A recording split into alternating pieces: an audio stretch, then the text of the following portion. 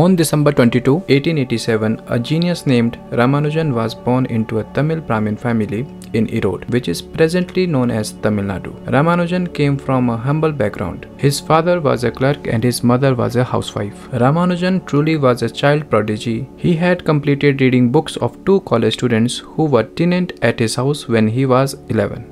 He mastered advanced trigonometry by the age of 13. He had read and mastered numerous advanced topics in mathematics and also developed his own techniques to solve advanced maths problems. But for this surprise, he failed his college exams due to lack of interest in other subjects like English, physiology, etc. He also failed his Fellow of Arts exam and continued independent research without any funding, living in extreme poverty. It was only in 1910 that he got recognition for his work by Indian Mathematical Society by Deputy Collector Dr. V. Ramaswamy Iyer. Ramanujan's work was so to the point and would lack presentation, so it became extremely hard for other mathematicians to comprehend it. On 16 January 1913, Ramanujan had sent a letter to the great mathematician G. H. Hardy of Cambridge University, in which he sent out 120 theorems and formulae. Hardy, being a well-known mathematician, was not able to believe or comprehend the proof at first, but later was impressed by the work. He regarded Ramanujan as a mathematician of the highest highest quality. On 17th March 1914,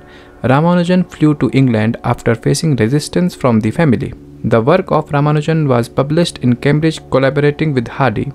This collaboration was a clash of personalities and beliefs. Ramanujan had no formal training, therefore Hardy tried to fill the gaps in Ramanujan education. Hardy was an atheist, but Ramanujan was a deeply religious man who relied very strongly on his intuitions and beliefs. He was a great devotee of the goddess Namgiri, one of the avatar of goddess Lakshmi.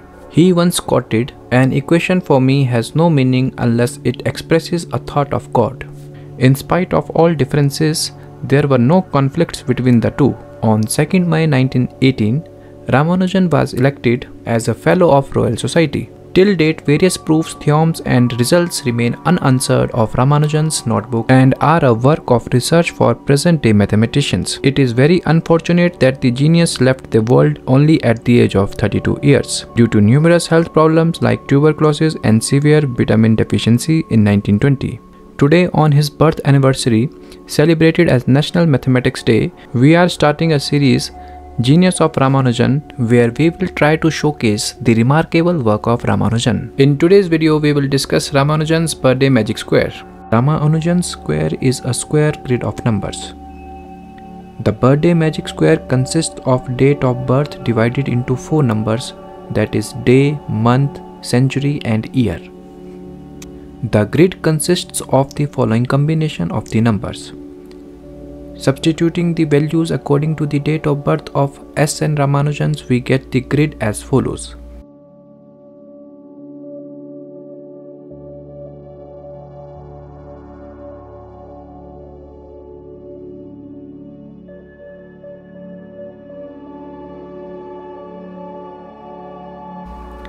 It is clear now that all the vertical columns add to 139 and the horizontal rows also add to 139.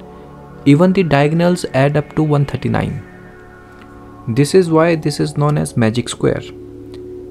So this was it for the video. See you in the next one. Happy National Mathematics Day. Thank you for watching.